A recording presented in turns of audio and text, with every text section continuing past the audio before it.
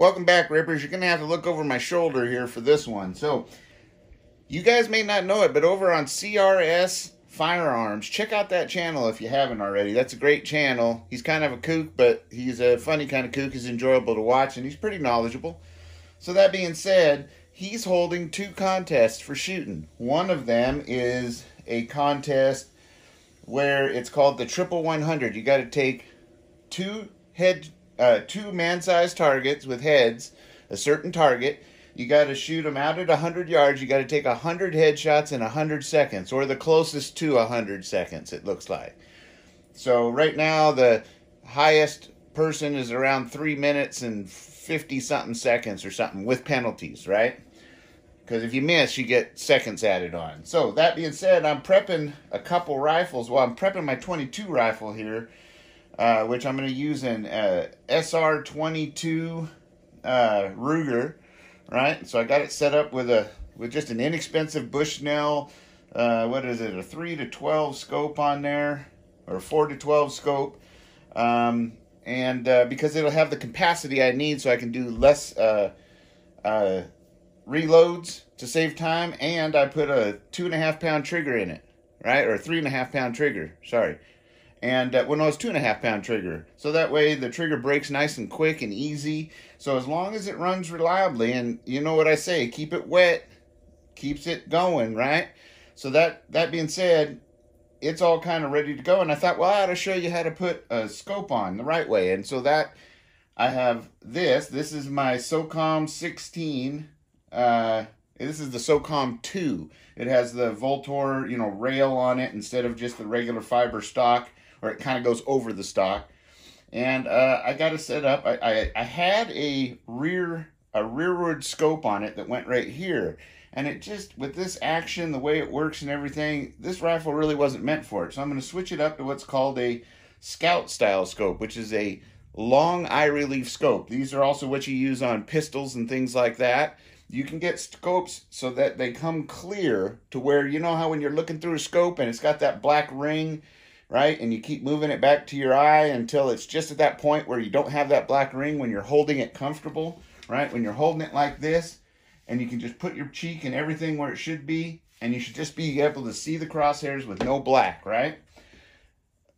I had a regular eye relief scope, so now I'm going to go to this scout style eye relief scope. So I'm going to show you what we do when we put it on here. Now, put the rings on. This scope's supposed to sit forward of the action.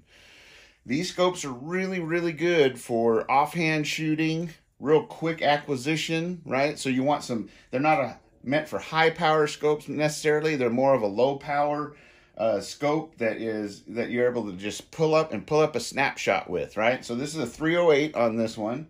As most people know, the M14 is a 308. And uh, so I've got these rings set forward here, and, and they're a little loose right now. And I'm going to set you set your scope on here. Now you want these rings far enough apart to where you have some forward and back movement, right? And so you fit your rings on there and I, I move it. Now if it doesn't bind and it feels kind of nice and free, I mean it might be a little sticky but not too much. As long as you look along the top here and you see even lines, right? Then you know these rings are good and true. Now, you can get a truing tool if for some reason this feels like it's in a bind or you don't see even margins. Uh, in your rings to where they meet the scope tube, uh, you can actually have those trued by a gunsmith with a lapper, which is basically just a steel bar with a abrasive on it, and they just slowly work it back and forth until it's nice and true. And they also take a truing tool, which is two bars with points on them, and they stick them in there and lock them in, and those points should basically come and touch each other. And we can show you that in a different video. But right now, these rings are fitting true and fitting square. So what I'm going to do is I've got it loosely on here and I'm just going to look down here and see if I'm where I'm at.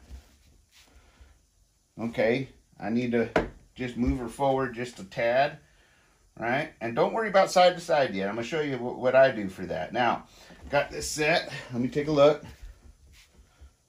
Right? Okay, that looks good. Now, so now what I'm going to do, since I have this and it's where I want it, I'm going to tighten these down. And I use, these are half inch um, nuts on here and they have a flathead screwdriver capability too. And I like big rings like this. This These are six screws per ring. so it's a wider ring. And I like those on a rifle like this because of the recoil and because of the rugged the ruggedness of them. They're gonna, you know, keep from moving and be strong in case you drop this rifle or fall down while you're running away from the zombies and all that kind of stuff, right? So that being said, I've got it all set up, got it tightened down. Now you can use a torque wrench on this, and I'd recommend doing that uh, if you have a torque wrench. But otherwise, just don't muscle tighten them. You just want them, you want them snug, and then maybe like a like a quarter to half a turn more, just so it's nice and snug and tight, and then a little bit, and that's it. Don't gotta crank them down tough. One reason you want to be able to get these off fairly easily without having to have a breaker bar or something if you're out in the field and for some reason your scope breaks and you're going to go and revert back to your your uh, fixed sights or your iron sights uh, so you're going to want to be able to get them off. And that's one reason i like these type of rings or quick release rings right?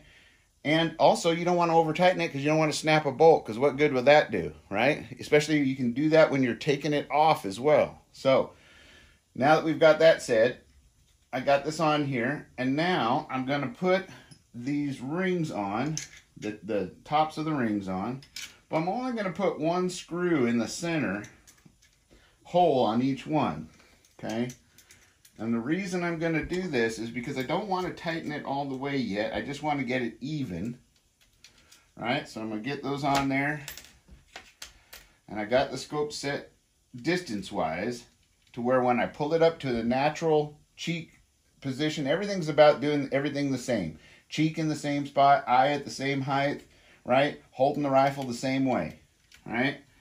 That's one of the keys to shooting is consistency in your form, right?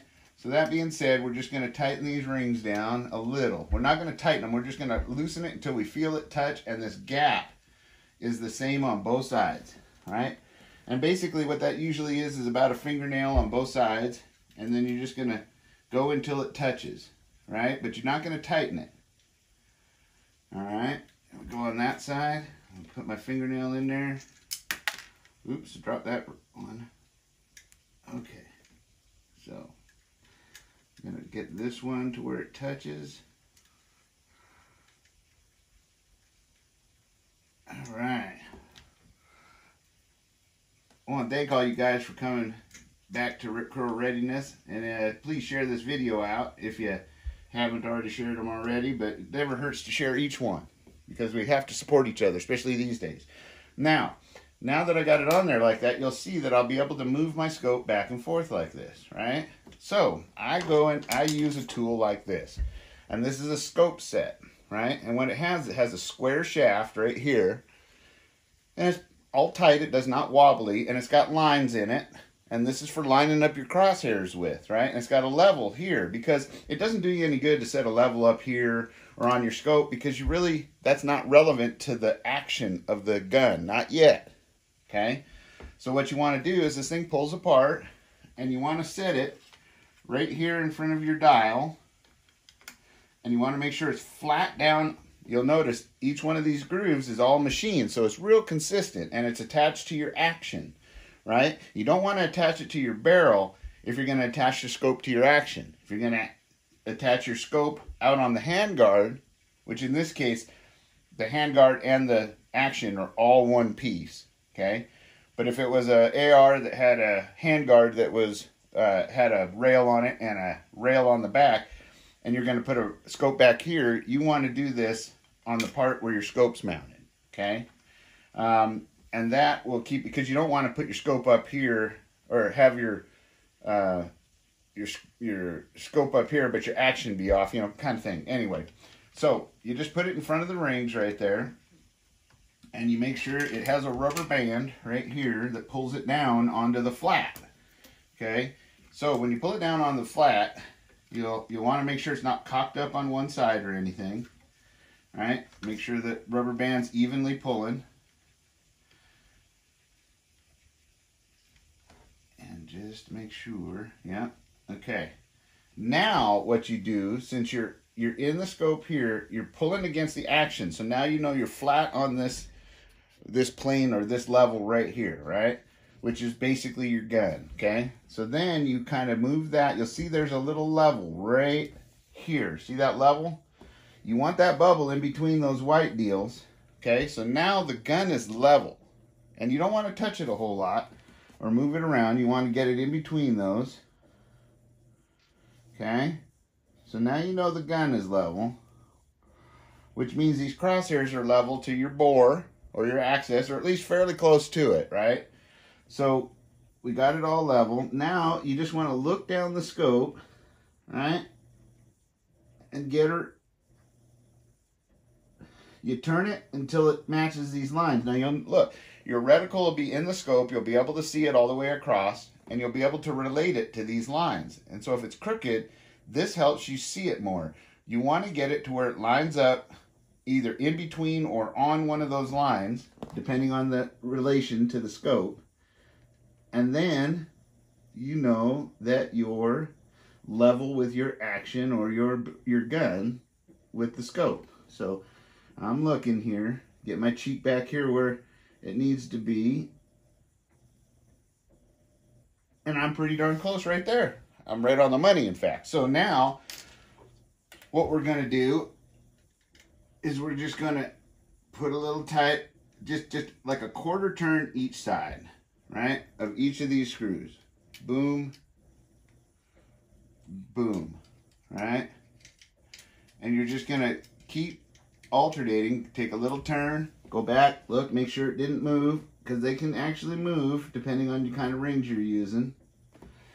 And then we'll go through and we'll basically start alternating.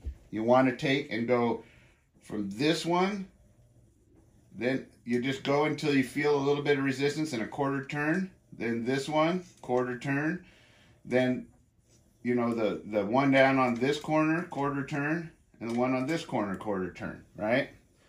So I'll show you here up close a little. So what I'm saying is, is you go quarter turn, quarter turn, quarter turn, quarter turn, quarter turn, quarter turn, right?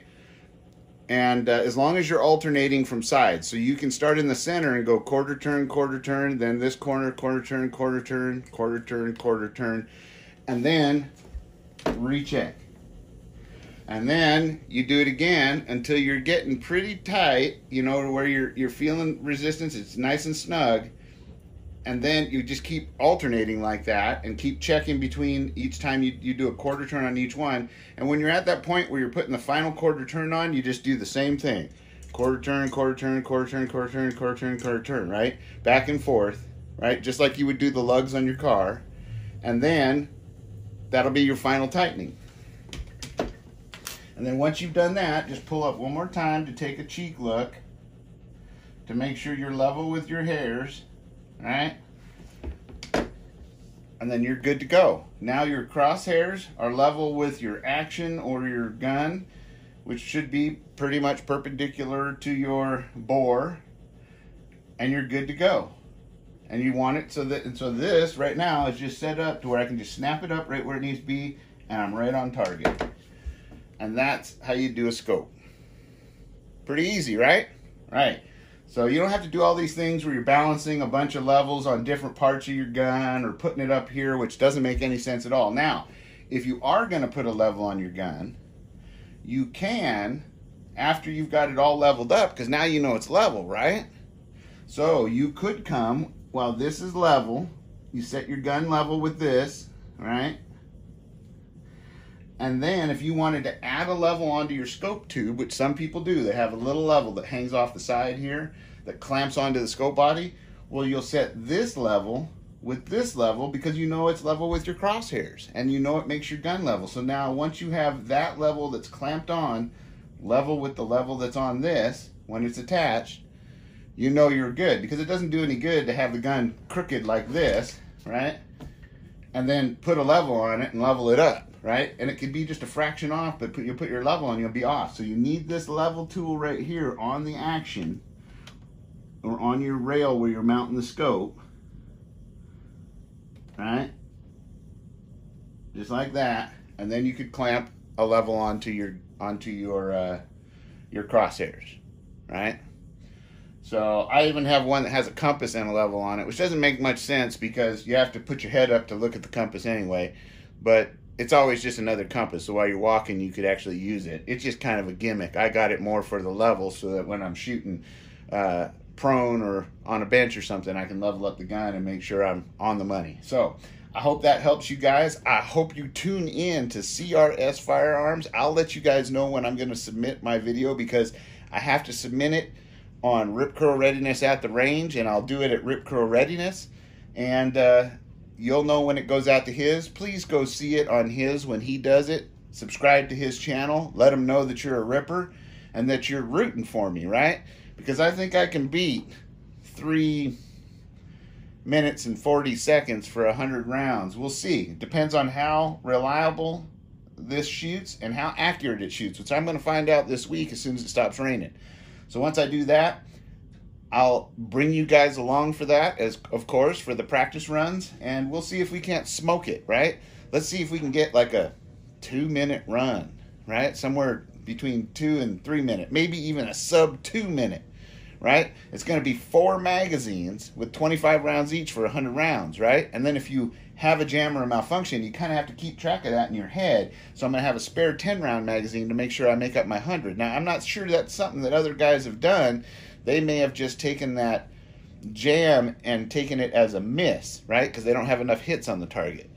I think sometimes it makes sense rather than taking a two second delay, depends on how fast you are, to throw in that last magazine, that 10 rounder, and throw out however many jams you had, if you had jams. So you can see there's some thinking to this, and it's going to be fun. I'm going to enjoy it. I hope you do too. So be sure to practice, practice, practice. And if you can carry, then do, right? And make sure you stay sharp. And make sure to tune in. Stay safe, stay secure. Always be aware of your surroundings and be sure you're prepared and ready for anything that may come your way. Till next time, adios.